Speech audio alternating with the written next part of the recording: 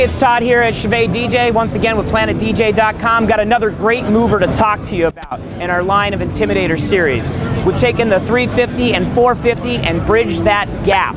So we've got something here for you in the middle, in between that $900 and $1,500 price point, and also in between that brightness levels. What I've got right here is the Intimidator 400.